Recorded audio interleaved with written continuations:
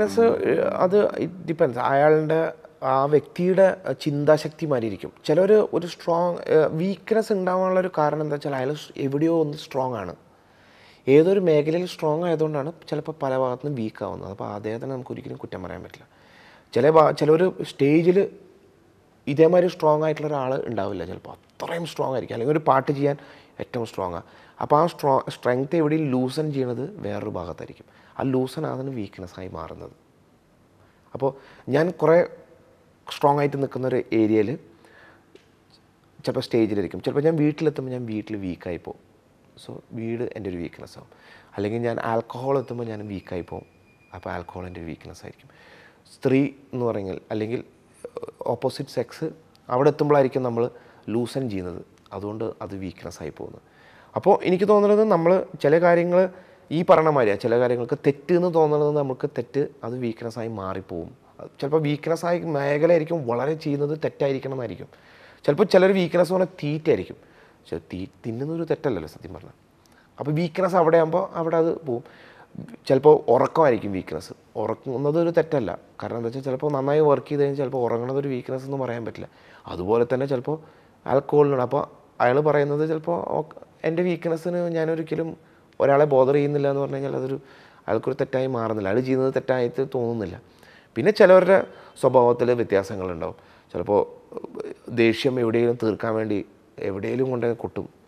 അപ്പോൾ അതും ചിലപ്പോൾ ഒരു വീക്ക്നെസ് ആയി മാറും. അപ്പോൾ നമുക്കൊന്നും അറിയുന്നില്ല എന്താ സംഭവിക്കുന്നത്. അപ്പോൾ കലാകാരന്റെ സംബന്ധിച്ചിട്ട് വീക്ക്നെസ് നോക്കാണ്ടിരിക്കുകയാണ് നല്ലത്. അയാളുടെ സ്ട്രോങ് എവിടെയാണ് നമ്മൾ ശ്രദ്ധിക്കുക. ഞാൻ എപ്പോഴും അങ്ങനെ നോക്കുക. You are very nice on stage but you are very bad on somewhere അയാൾ അഴുക്കാണെന്ന് വെച്ചാൽ അത് എന്നെ എഫക്റ്റ് ചെയ്യരുത്.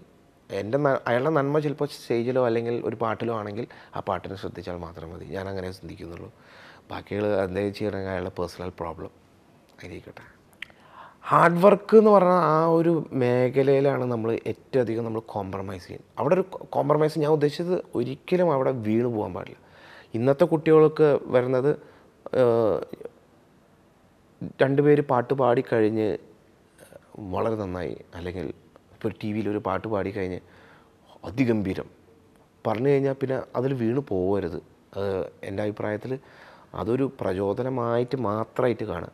അല്ലാത്ത പക്ഷം അവൻ പഠിക്കേണ്ട രീതിയും അവൻ വർക്ക് ചെയ്യേണ്ട രീതിയിലും എങ്ങനെ ഇനി അടുത്തത് എഫക്റ്റാക്കി എടുക്കാം?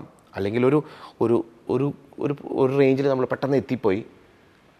അത് ഇനി എങ്ങനെ സസ്റ്റെയിൻ ചെയ്യാമെന്നുള്ളതാണ് ബാക്കി നമ്മൾ ശ്രദ്ധിക്കേണ്ടത്. അപ്പോൾ നമ്മൾ കൂടുതൽ കോൺസെൻട്രേറ്റ് ചെയ്യണം. അപ്പോൾ നമ്മൾ ഓൾറെഡി നമ്മളൊരു ലെവലിൽ എത്തിപ്പോയി ഫെയിം ആയി കഴിഞ്ഞാൽ പിന്നെ നമ്മൾ ശരിക്കും റിസ്ക് ആണ് ശരിക്കും. ആ ഫെയിമിനെ നമ്മൾ നിലനിർത്തുക. അല്ലെങ്കിൽ ആ ക്വാളിറ്റീനെ നമ്മൾ സസ്റ്റെയിൻ ചെയ്യിപ്പിക്കുക.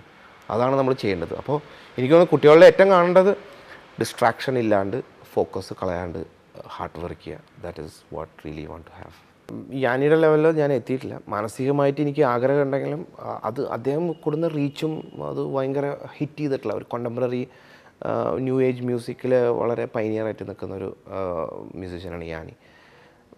ഞാനിപ്പോഴും ഏകദേശം ഉണ്ട് കേട്ടോ അയാൾ ട്രാവൽ ചെയ്യുന്നുണ്ട്. ട്രാവൽ ചെയ്ത് പക്ഷേ ക്രിയേറ്റീവായിട്ട് അന്നത്തെ ആ നിലപാട് അത് ഒന്നിരിക്കുന്ന ആ ഒരു ഒരു സൂര്യൻ ഉദിക്കുന്ന ഒരു സംഭവം ഇപ്പോൾ അത്രയും അവർ സ്ട്രോങ് അല്ല എന്നുള്ളൂ പക്ഷേ ഞാനിപ്പോഴും ട്രെൻഡിലുണ്ട് ഞാനിയുടെ മ്യൂസിക് എപ്പോഴും ഇപ്പോഴും ആൾക്കാർക്ക് ഒരു ഫീവറായിട്ടും പലരുടെയും ഒരു രീതിയിൽ അയാളുടെ ലൈഫേ മാറ്റിയിട്ടുണ്ട് യാനിയുടെ എന്റെ മ്യൂസിക്കിൽ ഭയങ്കരമായിട്ട് എഫക്റ്റ് ചെയ്തിട്ടുണ്ട് യാനിയുടെ മ്യൂസിക് അതുകൊണ്ട് ഫ്രസ്ട്രേഷൻ വരണം എന്താണെന്ന് വെച്ചാൽ പല രീതിയിലും ഫ്രസ്ട്രേഷൻ വരാം. ചിലപ്പോൾ ആൾക്കാർ പഴയമാതിരി എന്നെ റെസ്പെക്റ്റ് ചെയ്യുന്നില്ല അല്ലെങ്കിൽ എന്നെ ആരാധിക്കുന്നില്ല. അല്ലെങ്കിൽ എന്തോ എന്റെ ലൈഫിൽ മിസ്സിങ് ഉണ്ട്. അതൊരു സെർച്ചാണ് ശരിക്കും പറയാൻ. അതിൽ നമ്മൾ വീണ് പോയി കഴിഞ്ഞാൽ നമ്മൾ ഫ്രസ്ട്രേറ്റഡ് ആവും. ഫ്രസ്ട്രേറ്റഡ് ആയി കഴിഞ്ഞു കഴിഞ്ഞാൽ പലപ്പോഴും അവതാളമായി പോകും. ലൈഫ് ചിലപ്പോൾ സ്പോയിലാവാൻ വഴിയുണ്ട് ഫ്രസ്ട്രേഷൻ വന്നിട്ട്. അതില്ലാണ്ടിരിക്കാൻ നല്ലത്. നമ്മളെപ്പോഴും ഒരു നമ്മുടെ ശക്തിയെ ആശ്രയിച്ചിട്ട് നമ്മൾ എന്തെങ്കിലും ചെയ്തിട്ട് ആ ശക്തി തിരിച്ച് നമ്മളെ പ്രതികരിക്കുന്നില്ല എന്നുണ്ടെങ്കിൽ നമ്മൾ ഫ്രസ്ട്രേറ്റഡ് ആവും. അപ്പോൾ നമ്മുടെ ശക്തിനെക്കാട്ടിലും കൂടുതൽ വേറെ എന്തൊരു ശക്തി ഉണ്ട് എന്ന് മനസ്സിലാക്കുക. പിന്നെ ഏതൊരു സത്യം എവിടെയോ ഉണ്ട് ഒളിഞ്ഞു കിടക്കുന്നുണ്ട്. അപ്പോൾ ആ സത്യത്തിൽ വരാൻ വേണ്ടി നമ്മൾ നമ്മൾ നമ്മൾ യാത്ര ചെയ്യുക. അങ്ങനെ വെച്ചാൽ ഈ കുറേ ഫ്രസ്ട്രേഷനൊക്കെ മാറിക്കിട്ടും. പിന്നെ ചിലപ്പോൾ ഒരു തോന്നലുണ്ടാവും ഞാൻ എല്ലാം നേടി ഇനി എന്ത് നേടും. അതിൽ തന്നെ നമ്മുടെ താഴ്ച തുടങ്ങുകയാണ് അപ്പോൾ എല്ലാം നേടിയാലും അതിനപ്പുറം അതീതമായിട്ട് എന്തൊക്കെയോ ഉണ്ട്. ചിലപ്പോൾ നമ്മൾ ജീവിച്ചിരിക്കുമ്പോൾ അത് വരില്ല. മരിച്ചു കഴിഞ്ഞാലാണ് ചിലപ്പോൾ അതിനെക്കാട്ടിലും കൂടുതൽ വരുന്നത് മൊസാട്ടിനെ എടുത്ത് നോക്കുകയാണെങ്കിൽ മൊസാട്ട് ശരിക്കും മൊസാട്ടിന്റെ ലൈഫിൽ എല്ലാ എല്ലാം ചെയ്തു വെച്ചിട്ടുണ്ട്. മൊസാട്ടിന് തന്നെ ആദ്യം ഇത് മനസ്സിലായി. പക്ഷേ ആൾക്കാരെ സ്വീകരിക്കാൻ തയ്യാറില്ല. കാരണം അവർ ആൾക്കാരെ റീച്ച് ചെയ്തിട്ടില്ല. പാമരനായി മരിച്ചു. ഇന്നും മൊസാട്ടിന്റെ മ്യൂസിക് നിൽക്കുന്നുണ്ട്. ഇന്നും ഒരാളുടെ പേരിൽ ക്ലാസിക്കൽ മ്യൂസിക് എടുത്ത് നോക്കിക്കഴിഞ്ഞാൽ മൊസാർട്ട് വലിയൊരു പേരാണ്. മരിച്ചു കഴിഞ്ഞിട്ട് കിട്ടിയ പേര്. അപ്പോൾ അദ്ദേഹം ഒന്നും കിട്ടിയിട്ടില്ല എന്ന് ഫ്രസ്ട്രേറ്റഡായി വീണ് പോകായിരുന്നു ആ സമയത്ത്. എന്നിട്ട് നിർത്തായിരുന്നു. പക്ഷെ ചെയ്തില്ല. അദ്ദേഹം ചെയ്യേണ്ടത് ചെയ്ത് തീർത്തിട്ട് സന്തോഷമായിട്ട് മരിച്ചെന്ന് നമുക്കറിയില്ല. പക്ഷേ ഇന്നും ആൾക്കാർ മ്യൂസിക് കേൾക്കുന്നത് അത് ഗ്രേറ്റ്നെസ്സാണ് ശരിക്കും. ഫ്രസ്ട്രേഷൻ ഇല്ലാണ്ടിരിക്കുകയാണ് നല്ലത് തോന്നുന്നു. എനിക്ക് അംഗീകാരത്തിന് വേണ്ടിയിട്ട് ഒന്നും ചെയ്യണ്ട. എനിക്ക് ഞാൻ എന്റെ സാറ്റിസ്ഫാക്ഷന് വേണ്ടിയിട്ട് കുറേ കാര്യങ്ങൾ ചെയ്യുന്നുണ്ട്. അതാണ് എന്നെ എന്നെ ഇപ്പോഴും എന്നെ നിലനിർത്തുന്നത്. ഞാൻ പല ഷോകളും ഞാൻ പല ഷോകളും പല സംരംഭങ്ങളും ഞാൻ ക്യാൻസൽ ചെയ്യുന്നതെന്ന് വെച്ചാൽ ഞാൻ അതിൽ വീണു പോവോ അതിൽ വഴുതി പോവോ എന്നൊരു തോന്നലുകൾ എനിക്കുണ്ടായിട്ടാണ് പല കാര്യങ്ങളും ഞാൻ ക്യാൻസൽ ചെയ്യുന്നത്. ഞാനിപ്പോഴും പ്രോഗ്രാം ഫ്രീ ആയിട്ട് പോകാറുണ്ട് ഫ്രീ ആയിട്ട് പോകുന്നതിന്റെ ഉദ്ദേശം വേറൊന്നും ഉണ്ടല്ല എനിക്ക് കിട്ടുന്നൊരു സാറ്റിസ്ഫാക്ഷൻ അതിൽ അതി അതിഗംഭീരമാണ്. അത് എനിക്ക് എനിക്ക് സന്തോഷം തരുന്ന ഒരു മേഖല കുറേ ഉണ്ട് അതിൽ പൈസ എവിടെയും ഇല്ല. പൈസയും ഇല്ല ഫെയിമും അല്ല.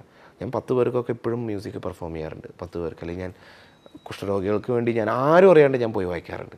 എനിക്കത് പറയാൻ ആഗ്രഹമില്ല പക്ഷെ ആ മേഖലകളിൽ എനിക്ക് കിട്ടുന്ന സന്തോഷം എവിടെയും ഒരാൾക്കും കിട്ടുന്നില്ല തോന്നുന്നു. അപ്പോൾ എനിക്ക് പ്രതിഫലങ്ങളോ അല്ലെങ്കിൽ ഇങ്ങനെയുള്ള അവാർഡുകളോ അതിനപ്പുറമായിട്ടുള്ളൊരു കലാകാരന് കിട്ടുന്നൊരു സാറ്റിസ്ഫാക്ഷൻ ഉണ്ട്. എവിടെയോ എന്തോ ഒരു സത്യം ഞാൻ അന്വേഷിച്ച് പോകുമ്പോൾ ചിലപ്പോൾ കാണാറുണ്ട്. ചിലപ്പോൾ ഒരു വളരെ പാവപ്പെട്ടവന്റെ അടുത്ത് വായിക്കുമ്പോഴാണ് അത് എഫക്റ്റ് കിട്ടുന്നത്. ചിലപ്പോൾ വലിയൊരു ഷോയിൽ വായിക്കുമ്പോൾ ആരും ഒന്നും പറയില്ല. ചിലപ്പോൾ ഒരു സാധാരണ ഒരു കുട്ടി വന്നിട്ട് ഒരു ഭയങ്കര സന്തോഷത്തോടു കൂടി പറയുമ്പോൾ അതാണ് അതിന്റെ സാറ്റിസ്ഫാക്ഷൻ ആ അന്ന് കിട്ടുന്ന ആ പേയ്മെന്റിനെക്കാട്ടിലും ചിലപ്പോൾ ആ അതായിരിക്കും അന്നത്തെ എഫക്റ്റ് എന്ന് പറയുന്നത്. അതുകൊണ്ട് ഞാൻ എപ്പോഴും അങ്ങനെയാണ് എന്റെ കരിയർ ഞാൻ കൊണ്ടുപോകാറ്. എന്നിൽ കാണുന്ന കുറച്ച് എനിക്ക് ഉണ്ടാകുന്ന കുറേ സന്തോഷങ്ങൾ ചിലപ്പോൾ പലവരുടെ കണ്ണുകളിലോ അവരുടെ ജീവിതത്തിലോ അല്ലെങ്കിൽ എന്തെങ്കിലും ഒരു മോമെന്റ് എനിക്ക് എനിക്ക് തന്നെ ഉണ്ടാവുകയാണ്. കഴിഞ്ഞൊരു പ്രോഗ്രാമിന് ഞാൻ ഞാൻ വായിച്ചു കഴിഞ്ഞിട്ട് ഞാൻ എന്നെപ്പറ്റി പൊക്കി പറയാൻ എനിക്ക് താല്പര്യമില്ല. പക്ഷേ ഷെയർ ചെയ്യാൻ ആഗ്രഹമുള്ളതാണ്. വളരെ കേരളത്തിലെ വളരെ ഫേമസ് ആയിട്ടുള്ളൊരു കലാകാരൻ. ഞാനൊരു പിയാനോ പീസ് വായിച്ചതാണ് ചെറിയൊരു പീസ് വായിച്ചത്. ഏകദേശം അയാളൊരു പത്ത് മിനിറ്റ് എന്റെ മുമ്പിൽ ഒന്നും മിണ്ടാണ്ട് കരയാൻ കരയ മാത്രമേ ചെയ്തുള്ളൂ. ഞാൻ എന്നിട്ട് പോയി കുറേ സമാധാനിപ്പിച്ചു. എന്റെ ലൈഫ് എന്റെ ലൈഫിൽ എനിക്കൊരു അവാർഡ് കിട്ടണതിന് തുല്യമാണ് ശരിക്കും പറയുകയാണെങ്കിൽ. എന്നെ റഹ്മാൻ സാറ് ഒരു പ്രോഗ്രാം കഴിഞ്ഞിട്ട് പിയാനോ മാത്രം അന്ന് വായിച്ചു. ഞാൻ വായിച്ചിട്ട് എനിക്ക് ഫോണ് എന്റെ ഫോണിൽ വിളിച്ചില്ല. ശ്രീനേട്ടന്റെ ഫോണിൽ വിളിച്ചിട്ട് എന്റെ അടുത്ത് പറഞ്ഞു ഞാൻ എന്തോ അതിലൊരു പോസിറ്റീവ് നിന്റെ വായനയിൽ കണ്ടു. You are a very blessed person എനിക്കന്ന് ശരിക്കും പറയുകയാണെങ്കിൽ ഒരു ഒരു അവാർഡ് കിട്ടണ തുല്യമായിരുന്നു കാരണം അത്രയും വലിയൊരു കലാകാരൻ എന്നെ എവിടെയോ എന്നെ തിരിച്ചറിഞ്ഞു എന്തോ ഒരു രീതിയിൽ അത് വലിയൊരു കാര്യം എനിക്ക്. അതിൽ ഞാൻ ദൈവത്തിന് നന്ദികളാണ്